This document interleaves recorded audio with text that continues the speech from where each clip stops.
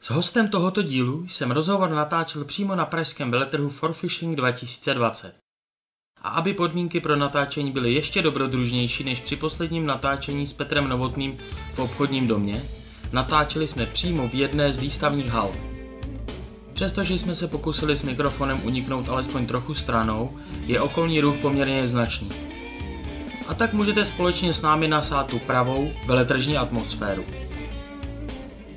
Dobrý den, tady je Jakub Hladký a vítám vás u poslechu rybářského podcastu Rybo.cz. Sponzorem podcastu je firma Brillo Team, výrobce webu a poskytovatel služeb internetového marketingu a SEO. S dnešním hostem jsem se seznámil původně přes instalaci nezávislého topení do mého auta. Ačkoliv se jedná o známého kap- kapraze a ambasadora zvučných z rybářských značek, přes toho živí a rybařinu mu financuje zcela něco jiného. Autoservis. Eh, Dnešním hostem je Martin Jandík, známý rybář a autor velmi populárních videí Carp Show. Ahoj Martine, vítej v mým podcastu. Ahoj Kubo, zdravím všechny diváky. Eh, Sedíme v kavárně na For Fishing, je kolem nás hlučno, takže budeme muset trošku křičet. A Martine, co tě nejvíc fascinuje na rybařině? Proč chytáš ryby? Filozofická otázka. Bláho, hned takhle na začátek, takhle filozoficky. Uh, proč to chytám? Uh, už se mě na to asi jednou nebo dvakrát někdo ptal. Co je pro mě podstatný u té rybařiny jako takový, je to jedno, jestli jsou to kapři, nebo plavaná, nebo cokoliv jiného. Je opravdu ta svoboda, která vlastně u žádného podobného koníčku není. Protože u nás v rodině jsme klan myslivců, takže u nás vždycky byl hlavní les, zvěř, ale bohužel tam ta svoboda taková není, musíš mít omezený, omezený vlastně chodíš do omezeného místa, kde ji máš zaplacený nebo pronajatý a musíš tam střílet tu zvěř a to mě se vždycky jako nelíbilo. A ten půl toho lovce byl vždycky jako u mě jako fakt jakože silný. A někdy těch sedmi, osmi letech jsem si tak nějak našel té rybařině a ta obrovská svoboda, kdy vlastně že v devět, devíti letech ti kulovnici do ruky nedají. Aha, no ale ne. prut, prut není problém, takže vlastně mě svěřili prut, pustili mě k vodě, tenkrát se to tak neřešilo, jako se to řeší dneska. Dneska, protože mám děti, tak eh, nemůžu si představit, že by můj syn za mnou přišel a je mu 7 let a já ho pustil k vodě jenom tak, jako, ale dřív to tak bylo. A proto vlastně jsem eh, se do tohohle z toho koníčku tak zamiloval a provází mě prostě už, už od malička.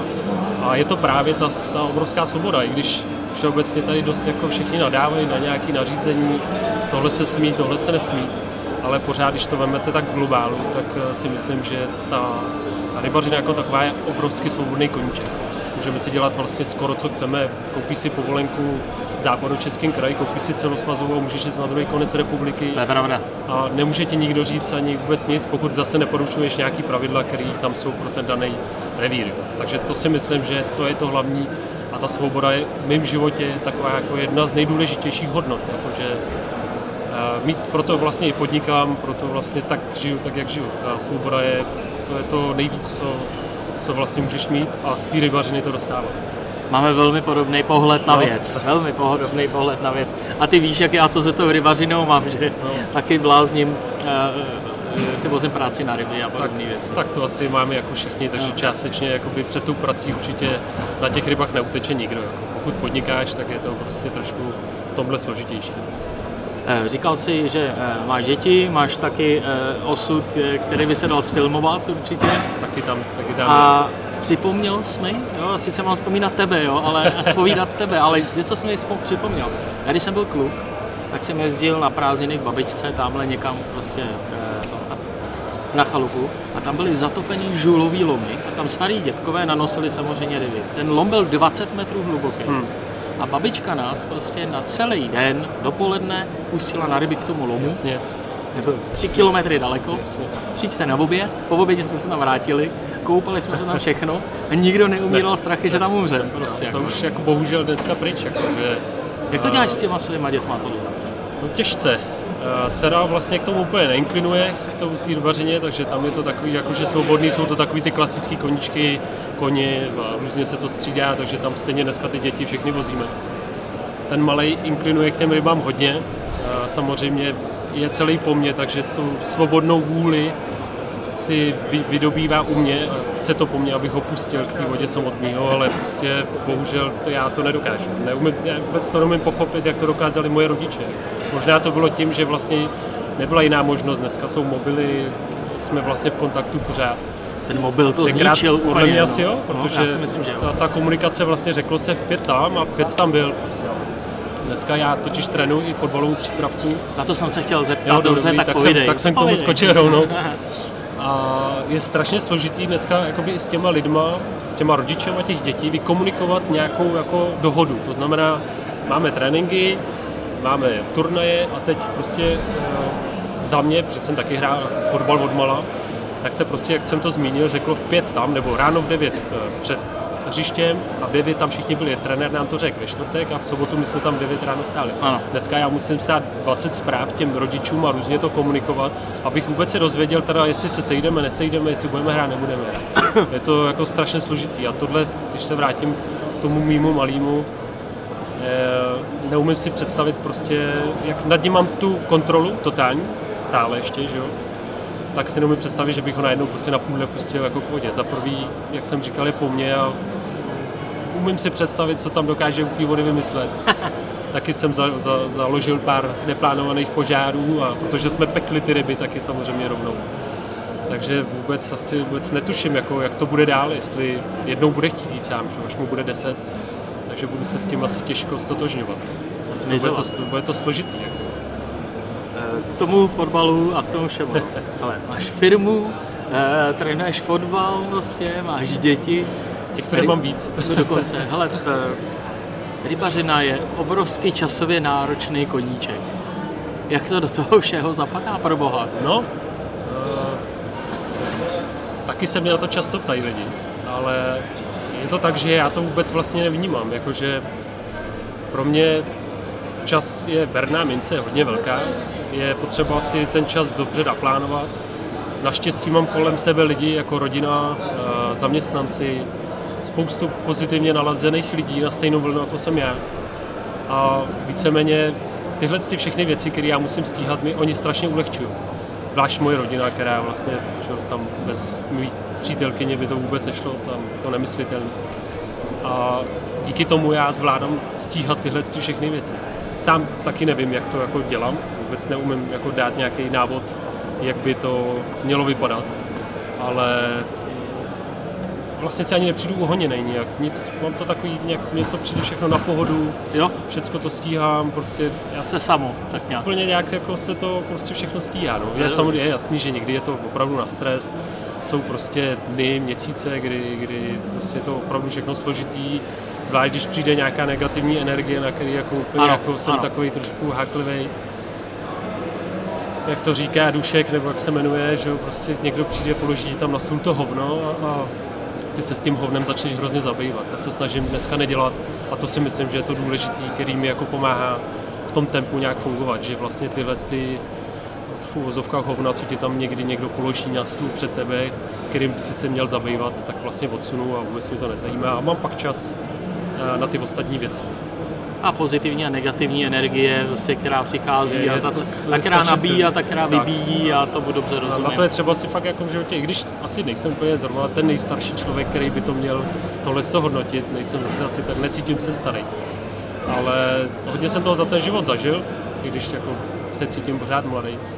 Tak eh, tahle jako věc, ta energie, která jako proudí mezi těma lidma, je fakt důležitá. A poklubovat se lidma, když to vemu v tom kaprařském, tady v tom našem dolíčku, Eh, je to strašně složitý, ty eh, nevraživosti a negace je tam strašně moc, jako spoustu lidí to zvenku nevidí, ale pokud se zabředneš dovnitř, eh, ať s nějakou značkou, nebo, nebo samovolně, že nějaký projekt vymyslíš, teď třeba tvůj projekt, že tady ty podcasty, a začneš zjišťovat, jak to podhoubí vlastně funguje, tak je to trošku takový jako negativní a pak je důležitý to do sebe nepouštět a, a vydržet. Jo, jo, rozumím, rozumím. Který rybářský revír považuješ za svůj domácí? No, to je taky dobrá otázka. Já mám samý takový. To je výborný. A tady narážíme na jednu věc, protože jsem z západní Čech a to není úplně, že dneska už se specializuju vyloženě na lov kaprů, tak to není úplně kaprařská meka, kde vlastně plave jako v Labi prostě neskutečný počet 20 kilových kaprů, větších i menších. 10 kilový kapr vlastně v Labi dneska je úplně něco normálního, už to není. Proto furt jezdíte na to Labe. Tak, přesně tak. Já to jsem nic si extra. říkal, tak. proč je to všechno je to prostě sakra tak. to Labe, taková je, dálka. Je, je to prostě tak, jedeš, eh, toho času je tak málo, zvlášť už jsme se o tom bavili, že toho času já zase nemám jako úplně na rozdávání. A trápit se někde na revíru, kde plave jedna desetikilová ryba, ten revír má 10 hektarů a honit tam tu desetikilovou rybu, určitě to neberou, někdo to má jako cíl vysněný, někdo to tak dělá, ale pro mě, já si chci taky zachytat, nechci tam sedět a čekat na tu jedno desetikiláka, jsem tam jako Rozumím. Jo, takže proto vlastně takhle jezdíme po celé té republice a vyloženě svůj domácí revír jsem měl. Byl to krásný rybník, kousek ode mě, byl to bonětický rybník, nebo on pořád je. Ale bohužel zase zvítězily many, prachy a tam je takový podnikavý člověk z východního bloku, který skoupil půlku vlastně eh, celou jednu stranu rybníka. Oplotilý a ty vlastně dneska, druhá strana je HKO, je tam les, takže složitý, se tam, jako můžeš tam chytat, ale je to hodně složitý. A ty vlastně dneska musíš jít za tím pánem, zaplatit mu stovku, aby si mohl chytat na svazovém revíru. Takže tím mě vlastně vzal úplně veškerý eh, představy o tomhle revíru a tam plavaly krásné ryby, možná snad i plavou, ale jelikož se rozjel takovýhle biznis, kdy on vlastně prodává i hostovačky nebo povolenky klasicky v tom eh, kempu, tak eh, úplně ten revír se zničil. Aha. To- A už jsem vlastně ho přestal mít rád, pro mě je důležitá ta svoboda, zase se k ní vracím. A tam už svoboda není, jakmile někomu musím dát stovku za to, abych se mohl někde zachytat, je prostě nesmysl. To je, tomu rozumím. A jak seš na tom teda s tím nejoblíbenějším revírem? Který teďko je to ten nejoblíbenější? Je to to Labe? No, taky není. Já jsem takový typ člověka, který má rád, protože jsem blíženec, takže eh, nasytit mě je strašně složitý zážitkama, takže já to mám tak, že strašně rád střídám ty revíry. Nemám fakt vyloženě daný, jako jsou kluci, kteří bydlí u Labe a Labe je pro ně prostě svatá meka, jenom tam, někam jinam. Já to takhle nemám. Já si kupuju vždycky celosvazovou povolenku a, a snažím se objíždět prostě celou republiku. Jo, jedu prostě týden tam, pak to změním, zase jedu jinam a každý ten revír abych se vrátil k těm eh, rybám, tak každý revír má prostě tu svoji svátost toho velkého kapra, v každý vodě plave. Jenom je třeba si uvědomit, že když je to maličký revír, má 3 hektary, tak tam asi 20 kg kapra hledat nebudu. Takže mě tam uspokojí ten 8 kilák a jenom tam kvůli němu budu jezdit. A když ho chytím, tak zase změním revír. Nedokážu, nejsem ten typ, který prostě vyloženě jezdí na jeden revír třeba 10 let kuse a pořád tam. To není nic pro mě. Takže vlastně na tuhle otázku ještě odpovím, tak já svůj oblíbený revír ani tak nemám. Mám rád všechny revíry. Všechny revíry, které můžou uh, mi něco dát, tak to je pro mě asi nejdůležitější. No, bezva, bezva, to je relevantní odpověď, Tak. takže děkuju. Máš nějaký rybářský vzor? No, No, děda, táta, ty jsi mluvil jako víš, to tak Jasně, chlapi mývají, ty jsi jasně. měl uh, Eh, doma uh, uh, ty myslivce spíš, Tak, takže... tam to bylo takhle. U nás ta rybařina byla vždycky taky, ale byla to taková okrajovka, bylo to spíš pytláctví než, než klasická rybařina. No, šlo se do lesa s flintou, že jo, a tam byl rybník chovnej, takže se vzala rovnou, rovnou i, vzali se proutky a Saturna, jak se Tak, říká na tak, Plzeňsku, no, že jo? A, e, takže tam si si jako mohl taky zachytat, taky chytali. Ale vyloženě rybářský vzor jsem nikdy žádný neměl. Spíš e, než vzory mám lidi do dneška, který umě tu rybařinu a nebo celkově to všechno dělají srdcem. Jsou to prostě lidi, kteří i vedou ostatní lidi k nějakému postoji k tomu. No, nejsou to Jo, úplně jo. takový ty pankáči, je to prostě, to je pro mě takový vzor, protože je pro mě důležité, že mám ty děti a vím, že ty děti na to koukají, koukají na ty videa, koukají na všechno. Tak eh, třeba Lukáš Krása, eh, Karel jo, to jsou no, prostě pro jasně. mě, no, nevím, jsou jestli jsou to, nevím, jestli jsou to pro mě no. vzory jako takový, ale respektuju a mám je rád za to, jak, jak to podávají těm ostatním, jak, Hmm. jak to celý berou. Rozumím, rozumím.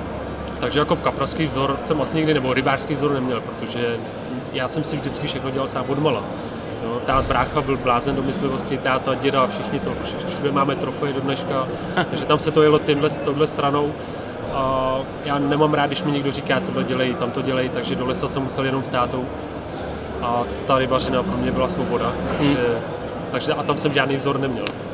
Takže dělal jsem si to tak nějak všechno vždycky po svém.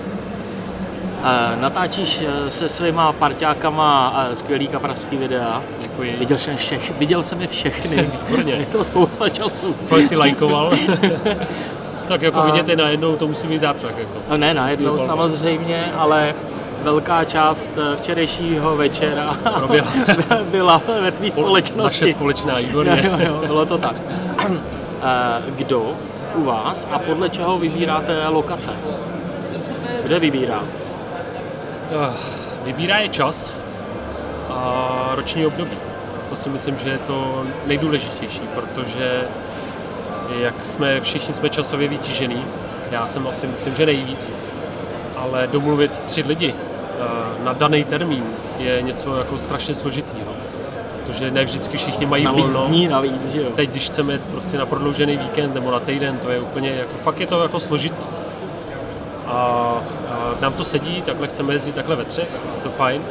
Takže jako domluvit to, tak to je jedna jako jedna strana mince a druhá strana mince je roční období, protože jet například eh, jet například eh, v zimě, kdy je zamrzlý, prostě stojí a stoje, stojecí vody, tak eh, nemůžeme jet někam na pískovnu, je třeba vybírat z řeky, lokality. A pak už podle tohohle vybíráš tak nějak přesně, kam bychom tak chtěli jet. Většinou zatím jsme to brali tak, eh, protože samozřejmě se dostáváme do hledáčku určitých lidí, kteří nás považují za nějaký, už tomu dali i název, propalovače revíru. Jo, to jsem zaznamenal. To je prostě taková jako Že dron vysíláte na oběžnou dráhu, až je vidět tak. přesně, kde chytáte. Takže víceméně jsme se tím taky trošku řídili, že jsme nejezdili na místa, které prostě nejsou panenský, neprofláknutý. Vždycky jsem zrovna na tom Labi úmyslně vybral místa, které fakt jako jsou naštěvované, ty místa jsou tam zvalchované jak od tlupy sviní, prostě, že to není místo, které by bylo neznámý. Stejně jsme to schytali, to nevadí. Takže zatím to, trošku jsme to jako brali na to potaz. Teď už se tím samozřejmě řídit nebudu. Začneme to dělat normálně, prostě budu jezdit kam chceme. Takže tak nějak vybíráme podle těchto atributů, ale víceméně to padne týden před. Nemáme to, nejde to domluvit dva, tři měsíce dopředu. Prostě týden před to padne, máme nějaký tři, čtyři možnosti a týden před to boukneme, protože samozřejmě do toho může vletět počasí, můžou být velký silný větry, takže nemůžeš jet někam Velká vyvážet, voda, že jo. vyvážet 800 metrů někam na vyvážku. Takže tyhle všechny věci a týden před to vždycky rozsekneme a, a někam to vezmeme. Carp Show je stále oblíbenější, jestli jsem to správně jako tak jako se díval na ty čísla, Taky tak, tak docela cítím, jako no. pěkně, pěkně tam naskakujou. Uh, jak nároční jsou přípravy vůbec? Bereš to tak, že s těma svými partiákama, že tam prostě s sebou vemete, to bude asi foťák, na co je to natáčení, že jo, nebo je to kamera? No, je to vlastně uh, bezzrcadlovka. No. Jo, zr- no, no, no, no, no, to tak dvě. dělá, no. A, že prostě vezmete jenom tohle, nebo jako já, mě tady stačí počítač a mikrofon a jeden záložník. Nebo sebou vezi, vozíte nějakou náročnější techniku, světla, prostě. Tak podobné je to, je to docela hodně, ono ve finále to vidět není, je toho dost. Právě, no, to- no je, jak jsme se tady na začátku bavili o nějakých zálohách, jak, jak to všechno dělat, tak samozřejmě mám dvakrát mikrofon, čtyři světla, spoustu baterek, foťák, vlastně a, na focení, pak mám, používám vlastně tuhle bezzrcadlovku na natáčení, asi šest objektivů, a je toho dost, jakože není to samozřejmě nesmyslná jako výbava, jako profi nějaký a, štáby, to nemáme. Když jsem viděl, když natáčí Korda třeba, tak to je teda palba, zvukař, tři kamery, S mikrofonem na přesně, Jo. na svěč, jako osvětlovač, každý má vlastně svoji funkci, tady to zastáváme v 90% všechno já, plus eh, jeden parťák mi pomáhá, vaši Klaus. Takže tak nějak víceméně to zvládáme, ale i tak je ty techniky docela hodně, jakože nezdá se to, ale je, to, je toho dost. Že Není třeba, už jsme se tady bavili, už jsem jednou stalo, kdy eh, jsem měl už nahráno 50 giga dat a najednou prostě to nešlo spustit, takže to je šílený, takže vlastně všechno se radši musí vozit dvakrát, aby jsme byli připraveni, kdyby náhodou, zvlášť když se pojede někam daleko. Jo. To je, mám v plánu vlastně teď natáčet, eh, chci jet natáčet IBCC závody, Jo, který se nezúčastním, ale budu tam jenom jako kameraman. Rád bych s udělal nějaký pěkný díl. Takže když potom člověk bude cestovat těch 600-700 km, tak už prostě nějakou techniku potřebuje, protože co a musí kdyby? to dopadnout dobře, že jo? Musí to Protože- dopadnout dobře, no. takže, takže když tam zjistíš, že ti něco nejde, nejde ti mikrofon, tak vlastně skončí. Jo. To mi říkal jeden eh, známý chlapec, který taky umí dobře točit videa, tak mi říkal, že ať je eh, obraz jakýkoliv zvuk musí být prostě výborný. To mi můžeš vykládat, kdy tady sedíme v téhle hale. Kavárně, kolem je to nás, trošku složitější, kolem ale, nás spousta hluku. A... ale potkat se takhle jako je taky těžký. Víme oba, že ty taky podnikáš a taky, takže do, domluvit ty časy. Jo, byl jsem tam za tebou u vás a jako dostat se tam od nás bylo opravdu celý let. Víš, no, není to jednoduché. Takže tak, ta technika jako je, není tak veliká, ale, ale dá se to pořád. Píšeš pro Carp Show dopředu nějaký scénář? Nebo to jako vyplyne tak jako samo z toho Vždycky pobytu? ten scénář ze začátku, kdy dobách, kdy se to jmenovalo ještě Carp Test, dneska už je to Carp Show. Jo, to bylo Carping to- and Testing nebo něco takového. No, to bylo. Carp Test se to jmenovalo. To byla taková původní moje myšlenka, že odbočím trošku od té otázky, že tak mě pak tam vrať.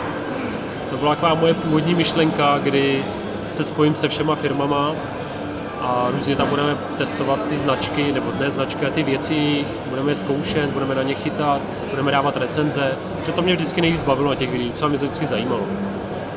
Samozřejmě asi po druhém díle jsem z toho vystřízlivěl, protože to podhoubí, o kterým jsem se tady bavil na začátku, je fakt skažený. Tady jako ty různé firmy mezi sebou mají hrozný nes, jako velký jako než, nesváry a různě ten nechce, aby tam byl ten a ten zase chce, aby tam byl ten a tomu se toho se kříží s tím druhým.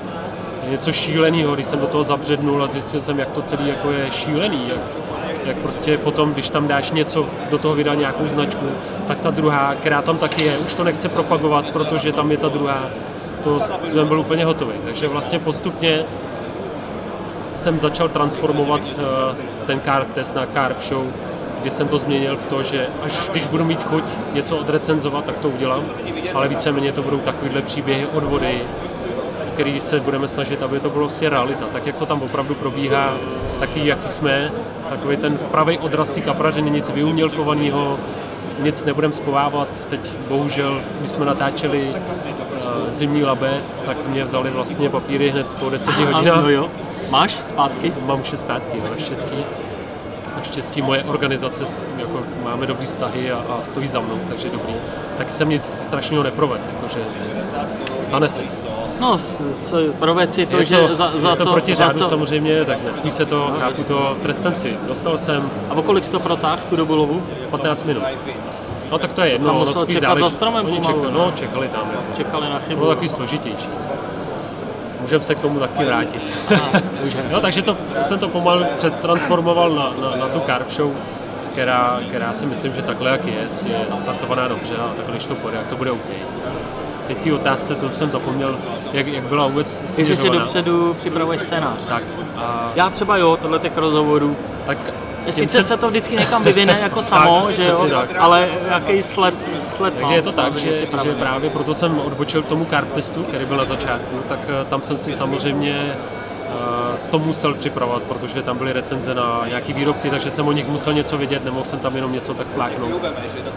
Takže to jsem si připravoval. Záhy jsem zjistil, že moje hlava nedokáže komunikovat prostě papír a mluvený slovo. To prostě pro mě není. Já si něco přečtu, chci to zopakovat a nedám to.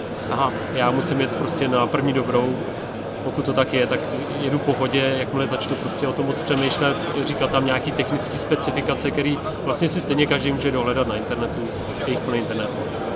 Takže vlastně jsem s tím scénářem úplně přestal. Jenom v hlavě si udělám kostru, aby samozřejmě důležitý nějaký příběh, tak aby to nějaký příběh mělo. A nechám to potom plynout. Většinou zatím musím zaklepat, máme štěstí a ten příběh najednou vždycky sám vznikne a je, protože ta rybařina je jeden velký krásný příběh. Takže už to jenom sfilmuješ, stočíš a, a takže vlastně vůbec žádný, nic si nepřipravuju. Jenom v hlavě takovou malou kostru, kam pojedeme, co tam budeme chytat, na co budeme chytat a to už je všechno a pak už se jede. Dokážeš říct, eh, v čem se zrovna ty vaše videa liší od těch všech ostatních rybářských, kaprařských, testovacích, srovnávacích a dalších videí?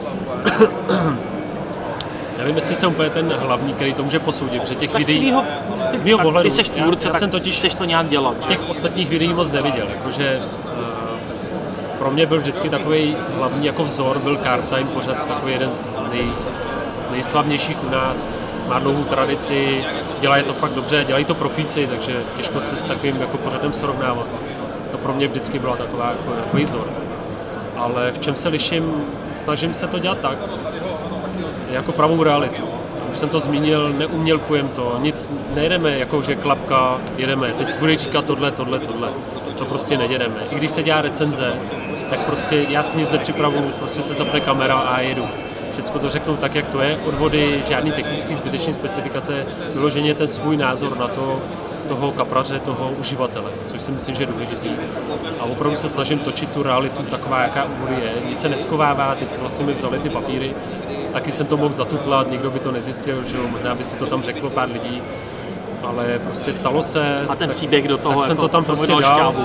tak jsem to, nevím, jestli jsem to úplně také chtěl to podpořit, to úplně nebyl cíl, ale stalo se to, je to realita, tak jsme to tam prostě, prostě to jsem to natočilo a dalo se to tam. Takže to si myslím, že je obrovský rozdíl oproti ostatním, kdy, kdy vlastně se něco jako hlavně propaguje, což já nemusím. To mám obrovskou výhodu dneska, už jsem vlastně ukončil spolupráci s Rich Monkey, takže vlastně dneska... Už je to oficiální. Už je to no. oficiální, už je to asi, já nevím, myslím si dva měsíce nebo tak nějak. Já vím, že jsme to říkali, když jsme se viděli No, no, no, poprvé no, vlastně. si, jo, to bylo hned, nevím, jak to, je dlouho to už. vzalo potom rychleji spát. A Zůstal jsem vlastně u Imperial, Imperial Bytes, to je dneska čistě německá firma, která nemá obchodní zastoupení v České republice, takže spadám už skoro víc jak dva roky spadám přímo pod Německo.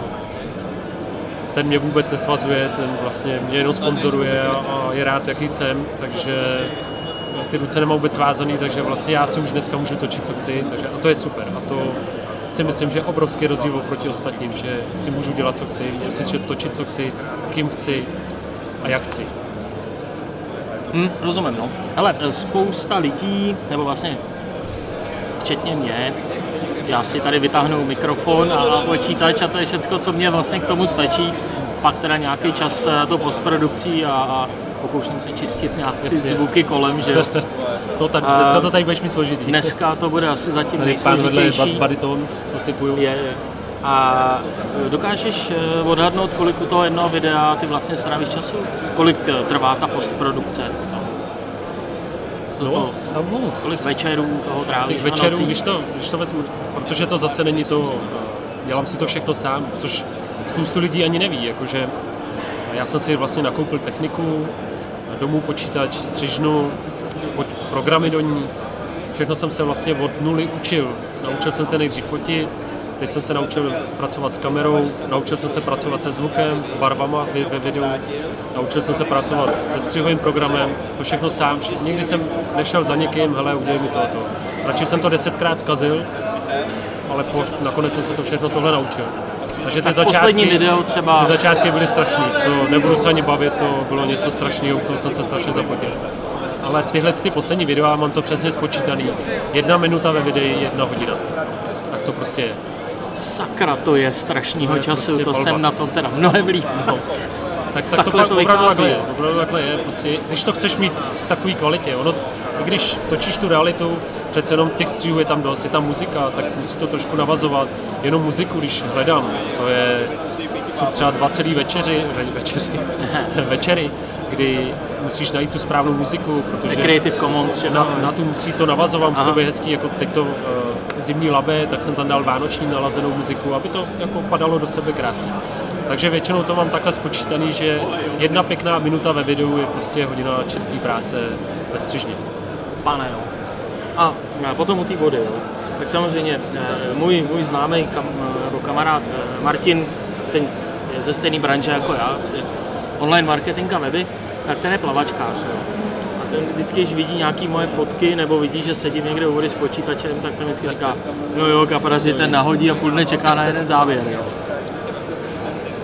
Teď ty si jako bereš vlastně práci k vodě. Kolik z toho jednoho dne třeba je tam že jo, nahozeno, tak eh, ty boilies jako to není jako pokud nemáš týden dopředu zakrmeno nebo připraveno, tak to nebere hned, že jo. Kolik tam jako času poměrově zabere to tancování kolem toho točení a Jo, vemeš 24 Jasně. hodin, něco z toho spíš. Jako natáčecí den, vyloženě, když jedeme no, prostě hodiny natáčet. mi zabere to všechno kolem natáčení a z toho pak mám jako 6 hodin eh, chvíli pauzu. Tak a to je právě to, že neděláme to umělkování. Takže vlastně my se na nic nepřipravujeme. Funguje to tak, že eh, kameru mám u sebe já, je připravená po hotovosti, na cokoliv, kdykoliv. Průběhu dne prostě 50krát vemu do ruky, něco natáčím, natáčím kluky, jak si povídají. Proto právě pak zachytíš ty vtipný momenty, protože ty by ti všechny utekly, kdyby ta kamera byla připravená, pojď, teď budeme natáčet to a to a budeme se tomu hodinu věnovat, tak to vtipný, to hezký, to ti všechno uteče. Takže to dělám tak, že vlastně kameru mám pořád u sebe a sleduju to k dění Neváhej kolem. a toč. A Prostě. prostě, tak, a prostě mám to natočit, teď cítím, možná, že to mám i trošku v sobě, že cítím ten moment, že se blíží, že bude něco vtipného nebo zajímavého, co je třeba zachytit, takže vezmu kameru do ruky a natáčím. Pak samozřejmě jsou pokrýváky, které mi teda zaberou hodně času, to jsou vlastně záběry krajiny, prutů, tak to všechno musíš udělat. To dělám průběžně během dne, takže tu kameru bych řekl, mám non-stop v ruce, takže Hmm. pořád. Pryč od natáčení Jasně, videí. stačilo. Stačilo. Ale zajímalo mě to hodně, jo, protože je mi jasný, že zatím je prostě strašný práce. K té kaprařině jako takový. Jo. A chci se, jako chci se na to ptát všech těch kaprařů. A bojím se, že mi všichni odpovíte stejně, jak nechci. Jo. tak schválně. Jsi spíš ten člověk, který, když někam přijede k neznámý vodě, tak ten, který spíš krmí víc nebo míň. A teď nechci slyšet, to záleží. prostě takový ta, ta tvoje, a, tak víš, Mám prostě, to, mám to od jak živa tak. Nevím, mám v sobě takový ten put toho lovce, kdy přijedu k vodě a něco ve mně se prostě úplně přepne. Jsem prostě úplně někdo jiný. Kluci to taky určitě cítí, že přijedu k vodě a nejsem ten klasický kluk, ale najednou se ve mně něco přepne a prostě přepíná se to na mě ulovit kapra. A je mi v tu chvíli jedno, jak to udělám. Ne samozřejmě, nemyslím nezákonně, Rozumím, ale jakoby v rozumím. rámci mezí. Takže cítím prostě z té vody, co je zrovna v ten den potřeba. Cítím to podle počasí, cítím to podle spoustu atributů. A taky samozřejmě, když tam půjdu na dvě hodiny, tak tam nenaházím 20 kg bojlísů, to bych byl blázen. Takže ten čas tomu taky hodně jako odpovídá. Když vím, že u té vody budu moct trávit týden, tak si místo připravím, vím, že záběry budou chodit až třeba za 24 hodin, takže na to je čas, takže tam nasolím samozřejmě víc, ale když jdu na dvě hodiny, tak tam nenapálím prostě 10 kg. To je většina, jedna z velkých chyb začátečníků, který chodí takhle na kapry, protože to všude vidíš, ty to do nich hrnou, nakrmit, každý prostě na videu tam našléhá nesmysl, ale přitom to tak není, jako realita je jiná, je to jenom marketing. A je třeba přečíst tu vodu, počasí, samozřejmě, když bude 5 stupňů, tak tam nenahrnu zase 10 kg, nejsem blázen. Takže to beru tak a když fakt jedu na dvě hoďky, jenom PVAčko, plovečka, jenom tak na lehko, jenom prostě jestli by se něco spletlo. Když jedu na díl, tak není problém to tam nasolit. Když jedu na velkou vodu, když jedu vyvážet třeba na tisíci hektarovou vody, eh, když jsem byl v zahraničí, tak eh, není problém na první zákrm 10-15 kg, proč ne? Aby si si ty ryby drobec stály, protože je to obrovská plocha, ale když pojedu na rybníček, který má 3 hektary, tak zase nezabijují obrovským množstvím krmení, ale použiju buď to pelety, nebo fakt jenom PVAčko, malou plovečku a jenom tak jako jenom tak to proskoumat a zjistit, co a jak. Mhm. Upřímně se mi zatím vyplatilo víc prostě po skromnu. Ty největší ryby mám prostě na maličký eh, bojlísy. Není to tak, že prostě chci bombu, tak tam nabombím dvě 24 za sebe nebo dvě třicítky a teď přijde velký kapr, není to tak. Většinou ty velký kapři, je třeba si uvědomit, že ten kapr nepřijímá jenom uh, tvrdou potravu, on taky filtruje, že jo, plankton, z toho je taky živ, takže nepotřebuje vyloženě, proto jsou tak úspěšní ty proklamované srkačky, protože to je obrovská zbraň, ten kapr přijde jenom filtrovat ten šrot a během se toho nám prostě si flákne ten háček s tím Mám známýho, který kupoval jenom polystyren nebo krat polystyren, naloupal si z něj ty količky, žádný foukačky, nic, jenom polystyren, zamáč to do toho těsta a byl úspěšný. Samozřejmě nechytal 20 kilový kapry. Jsem to nasal s tím vším No, kolem. ale prostě. primárně ten kapr nechce jako velký koule. Chápu to, když je potom velká voda, jako je třeba Balaton, kde je teda nesmysl vůbec selektovat ty velký od těch malých, kde vlastně ani třeba tři třicítky za sebou nestačí na to, aby ti to nevzal pětikilový kapr, tam je to šílenství, tam to je blázinec obrovský. Byl jsi na balotonu. Nebyl, nebyl, nikdy, nikdy, ale tak znám to eh, z- ze spousta vyprávění, eh, kde tam kluci byli, na závodech byli, z videí, myslím, že Kartem tam taky natáčel, takže je to tam, prostě tam to tak funguje, tam je strašně úžinná voda, těch ryb je tam strašná spousta, takže ukazoval mi to kamarád na fotce, kdy měl vlastně uh, koule na šířku dlaně a měl tam dvě třicítky a stejně vytáhl pětikáč. Takže to je šílenost. Jo, tak pak to chápu, ale ve směs tady na těch našich domácích tuzemských vodách se mi zatím nejvíc vyplatilo si fakt jenom 16 plovka nebo klasická koule 16, dvě 16 zase ve PVAčko ty největší ryby. A jak jsi na tom s ostatníma uh, vlastně uh, kaprařskýma uh, technikama, zikry, vysoký sloupec a takovýhle věci? No, úplně se tomu nevyhýbám. Není to něco, co mám rád. Nahazovat je zrovna, ten zikrik je zrovna trošku pro mě složitý. V přípravě já jsem dost jako lenivý člověk, ať se to nezdá, protože toho stíhám hodně, ale když už jsem u té vody, tak bych si rád užil ten klid a nasál to, tu přírodu a ten, ten pocit jakoby klídku, protože i natáčím, takže být sám někde u vody je pro mě dneska to nejvíc, co můžu zažít. Takže se nerad pak jako zdržu, protože zrovna zikrik musíš strašně pracovat s tím, to spombovat, krmit, měnit hloubky, nahoru, dolů, hledat ty kapry. To je fakt obrovská práce a obdivuju lidi, kteří to umí, kteří to mají vypiplaný, jako zrovna Peters, Peter ze single playeru, ten to má vymazlený, takže to jako obdivuju to, když takhle někdo umí. Ale co jsi mi říkal i mimo ten záznam, což je škoda, no, protože no. člověk se zakecá je, je, je, to, je to prostě fakt... A jako, mluvil že, o tom, no. Jo, je, je, tam opravdu musíš pracovat a sázet to tam, je to složitý. Já mám rád prostě jako takový ten klídek, takže On spíš, je takový vědec trošku v tom. Jasně, tak musí no. mít, ale vyrábí, jakože e, někdo takový zrovna jako já, nemůže mít nikdy svoji firmu jako na výrobu bojíc. Protože já jsem tak vinej na tohle, že já bych nikdy žádný bojíc nevymyslel, já bych si musel zaplatit někoho, kdo by mi ho vymyslel.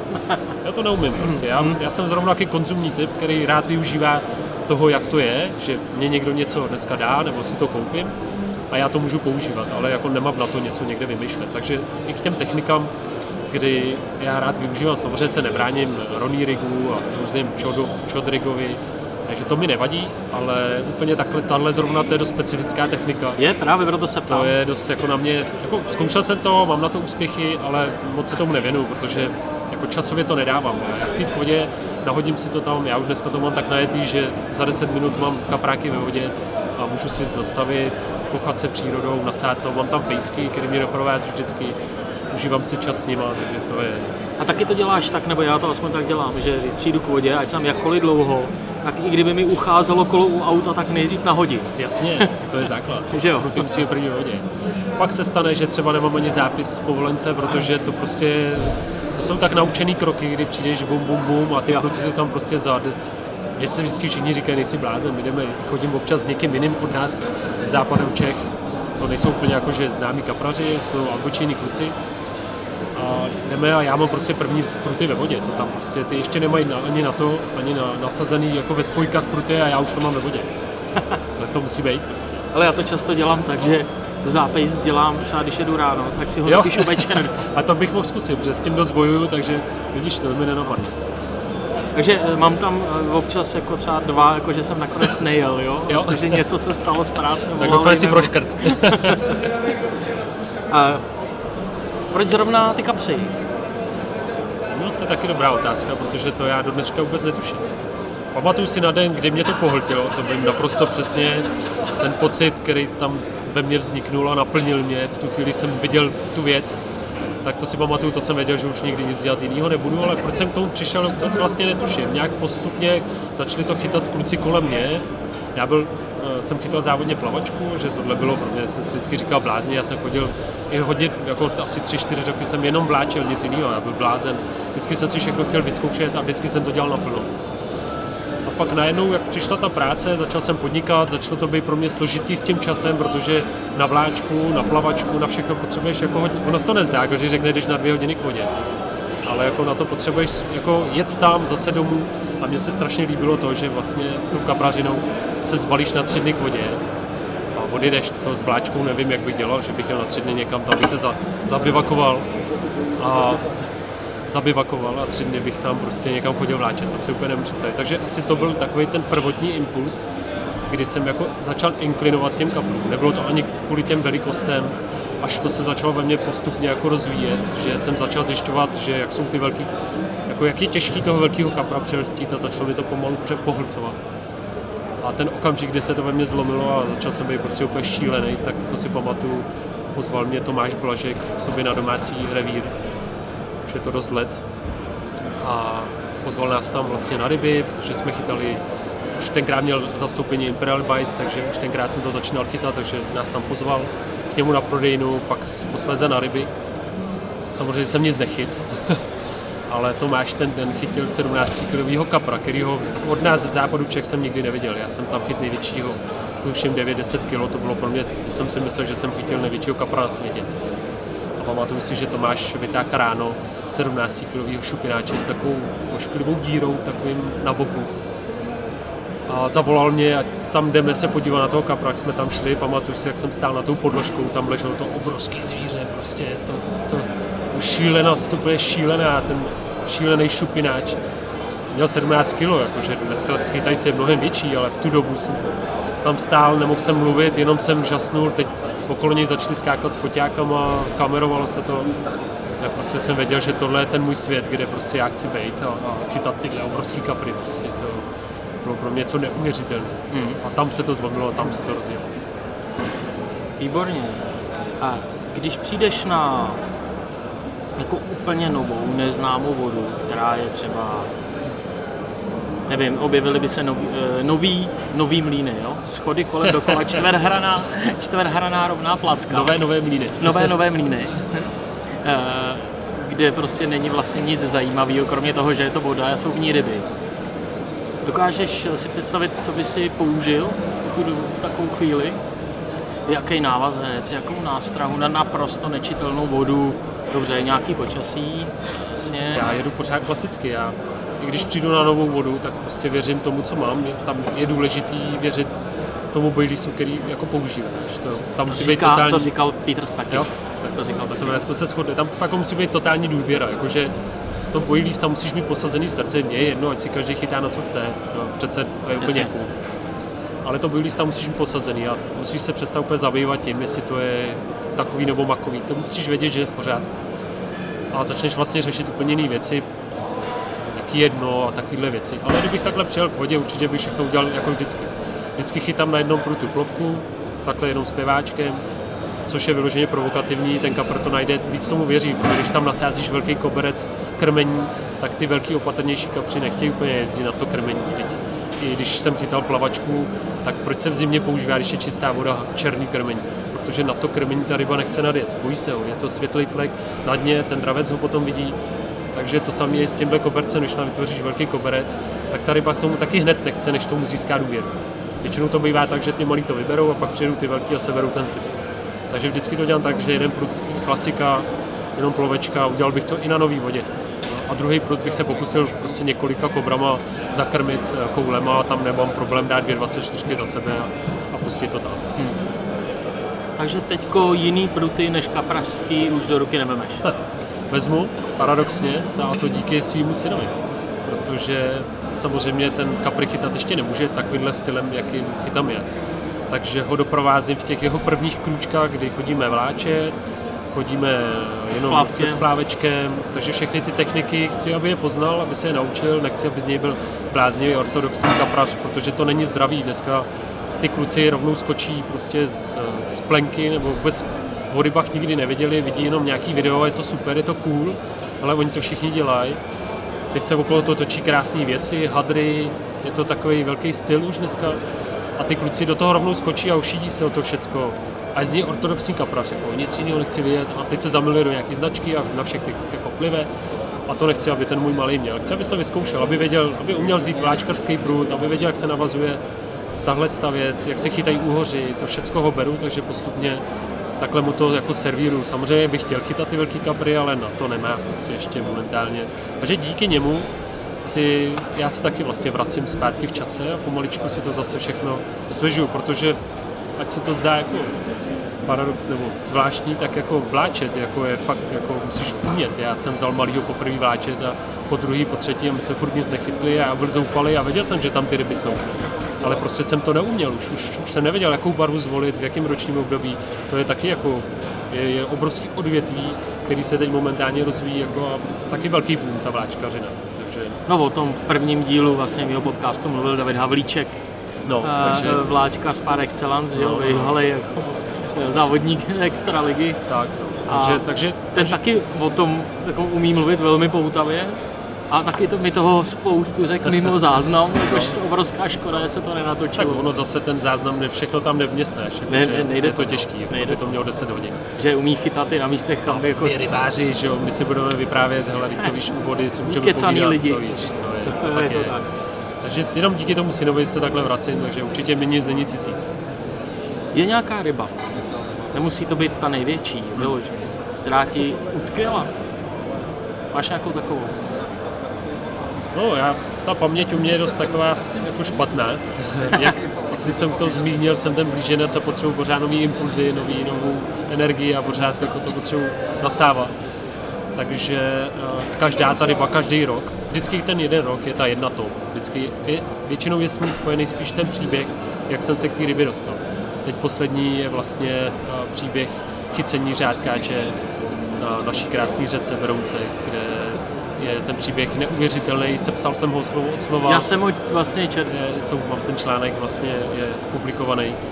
Já sepsal jsem ho fakt tak, jak to bylo, opravdu se to takhle přesně stalo. A ten kapr nebyl největší, je krásný, nebyl, neměl 35 kg, ale poutá se k němu takový příběh, že na tohohle kapra si myslím, že jako ni, nezapomenu ani za pár let.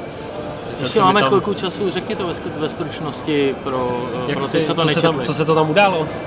No, je tam, tam je důležitý na začátku navodit tu atmosféru, která tam proběhla, nic se nedařilo, odjezd se nedařilo, bylo hnusně, pršelo, vody se nedařilo, eh, brali jenom tloušti, myš mi překousila vlasec, kdy mi okousala bobinu, takže to ulítlo všechno do vody.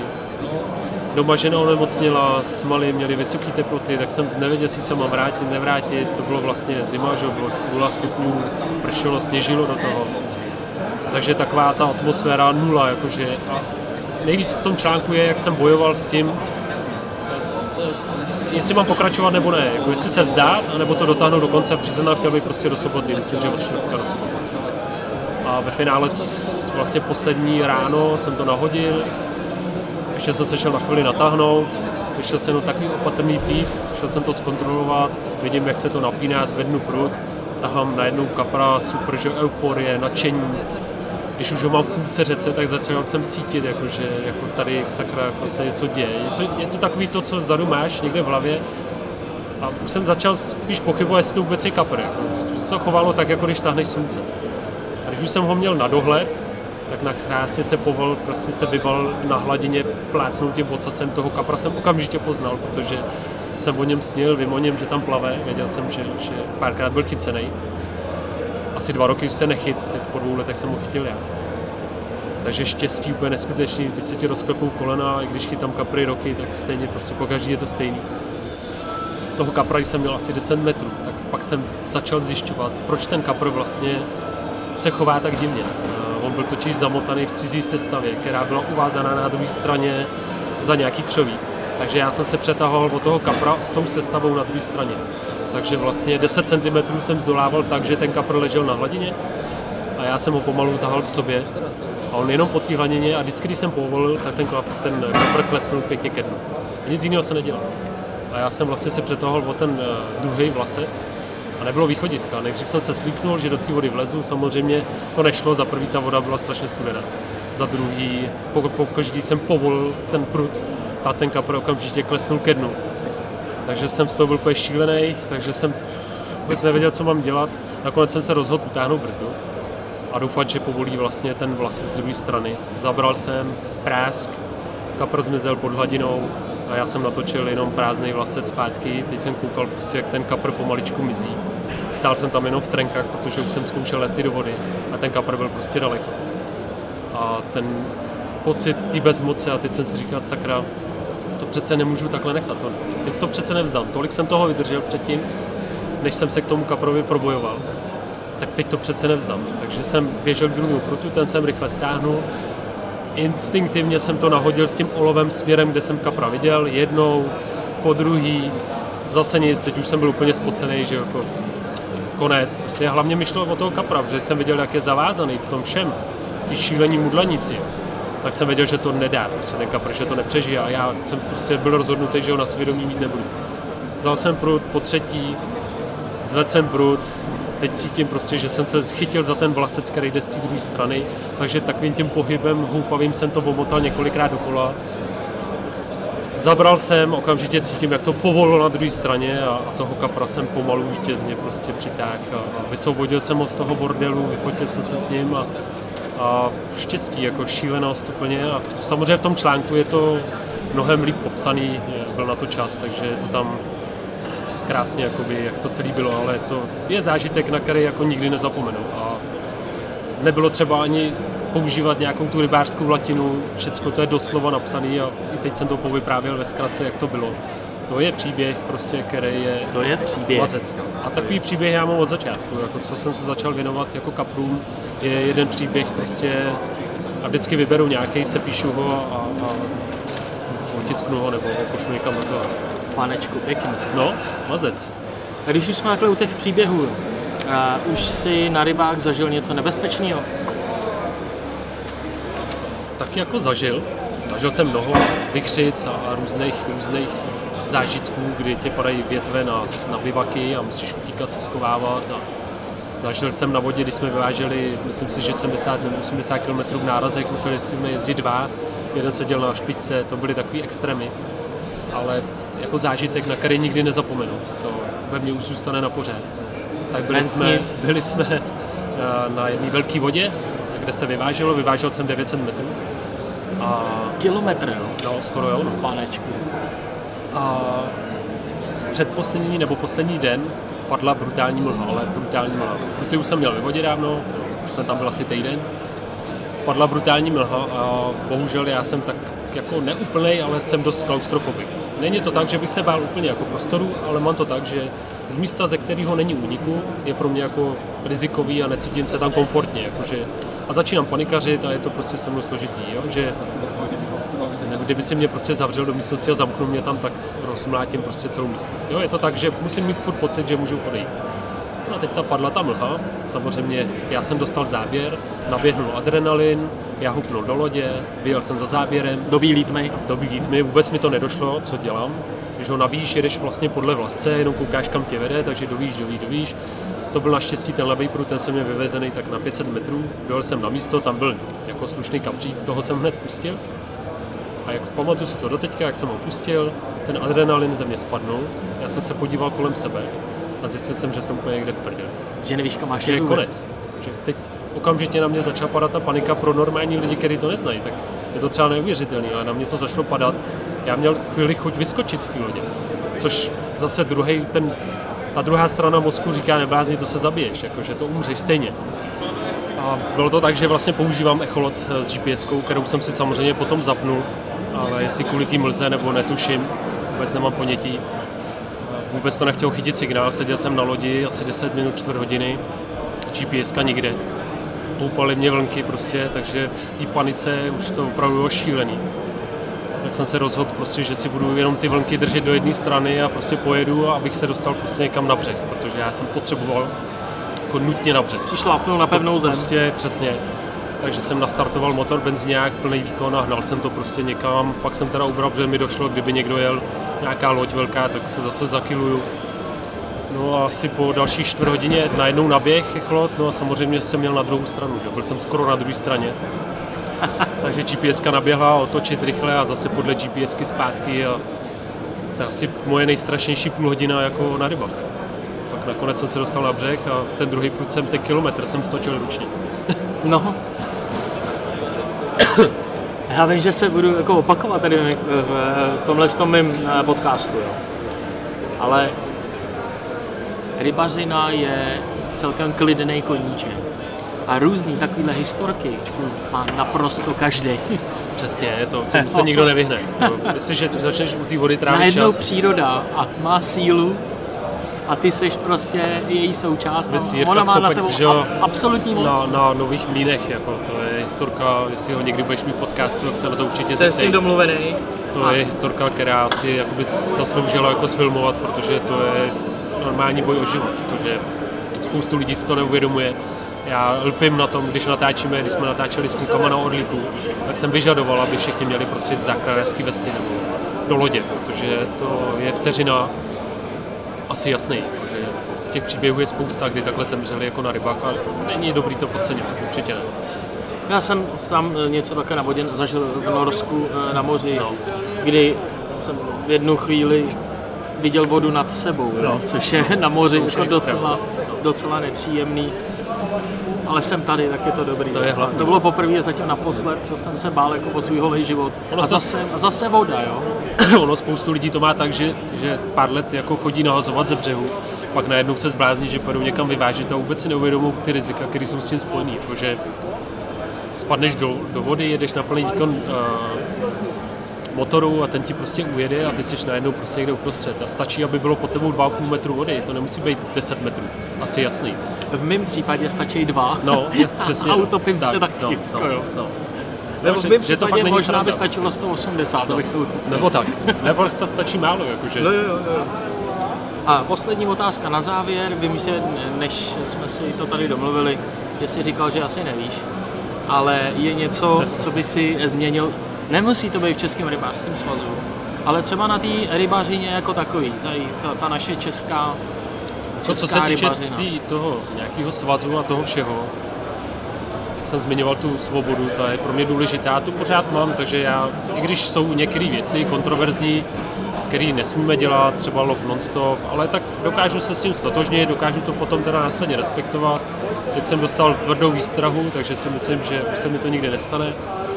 Takže mi to ani tak nevadí, jako spíš co bych já změnil, a to se asi změnit nedá, to je vyloženě taková ta lidská přirozenost a bohužel v tom eh, nejenom v rybařině, ve všem jsou prostě prachy a dokud tam ty prachy budou, tak ty lidi se k sobě prostě budou chovat jako hnusně a bude to tak. Prostě nic se nikdy nezmění.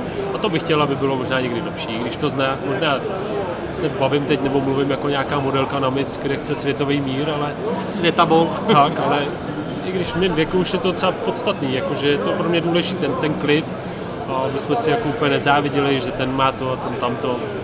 Takže to si myslím, že je důležitý, ten přístup k tomu všemu, i jako k životu, jako takovým. Jak asi nic podzásadního, co se týče jako našich jako nějakých eh, rybářského zákona. Zásadní to vůbec- poselství. To vůbec jako ne. Nevadí, výborně. Martine, strašně moc děkuju, že jsi mi věnoval tady tu hodinu toho času. Taky děkuju. Doufám, že tady eh, z téhle kavárny to dopadne. To byl Martin Jandík.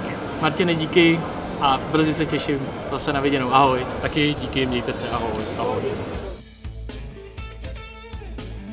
Děkuji, že jste poslouchali můj podcast a těšte se na další zajímavé hosty. Od mikrofonu se loučí Jakub Hladký. Petru zdar a ať to vede.